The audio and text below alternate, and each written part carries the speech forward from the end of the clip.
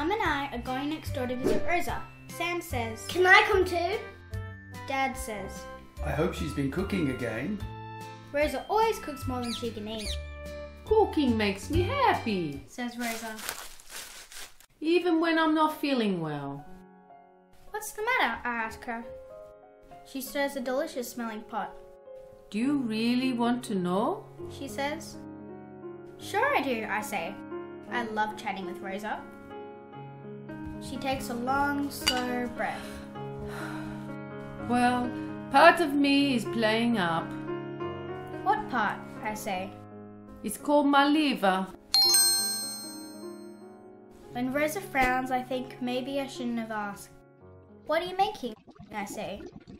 It's my famous tomato sauce. Rosa replies, The one your dad loves so much. Do you want to help? She hands me a big sieve. We have to take the seeds out, She says. otherwise, it will taste bitter. Rosa pours the cooked tomatoes through the sieve. The pips glisten like little red pearls. This is like one of the jobs my liver should do. When our livers are working properly, they take out the things in our blood that aren't so good. Rosa's sauce looks smooth and silky. It smells so good, and I could eat it by the spoonful.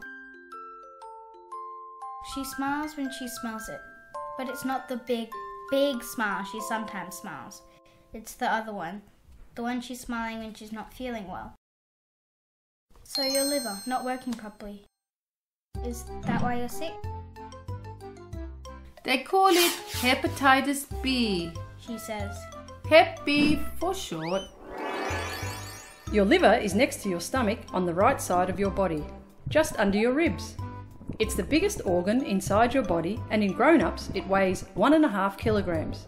The liver can fight diseases, process and clean blood, and store energy. Hep B can harm your liver and make it harder to do these things. After a bit of think, Rosa says, I'm sorry for being down in the dumps. How about we pick some fruit? We picked red apples and green apples, juicy dark skinned plums, bumpy skinned lemons, and sprigs of mint. Back in Rosa's kitchen, we cut the lemons for fresh lemonade. Mum comes in with Sam. How'd you get sick? I ask. Mum frowns, It's okay. Says Rosa. Hep B is carried in some people's bodies. It's in blood. If one person's blood has Hep B, they can pass on the disease even if a little bit gets into someone else's blood. That's why doctors use new needles every time they give someone an injection. How'd you get it? I ask her. You sure ask a lot of questions. She says, I don't know how. There are lots of ways people catch Hep B. That's when Mum chimes in. It's not just blood in needles or from cuts and things. Infection can happen anytime blood with Hep B contacts another person's blood. Sometimes babies catch Hep B from their mums when they are born.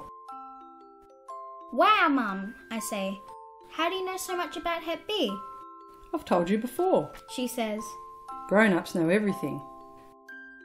Well, almost everything. That looks like enough juice. says Rosa.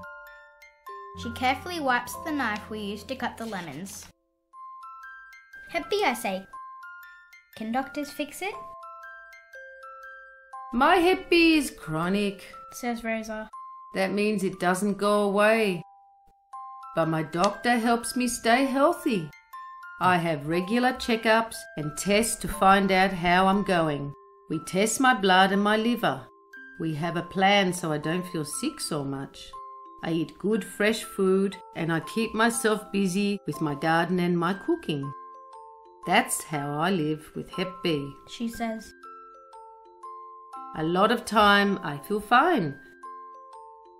But sometimes, like now, my Hep B makes me feel unwell.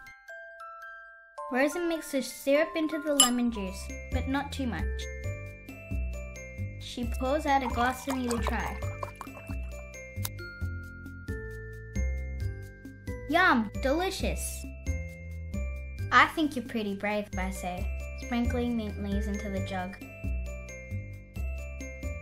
I suppose. She says, Nowadays, doctors can stop other people getting B. They use a vaccine to fight the virus that causes the disease. You and Sam had the vaccine when you were babies. says Mum. Four injections each. Sam suddenly goes quiet. He doesn't like needles. I wish she had them, I say to Rosa. I do too. She says, with a bit of a sad face. But then she tastes her lemonade and her smile starts to grow. And this time it goes all the way to that big, big Rosa smile I love. Superheroes need lemonade too. Says Sam. Rosa gives him a glass. It's been really good talking to you about Hep B.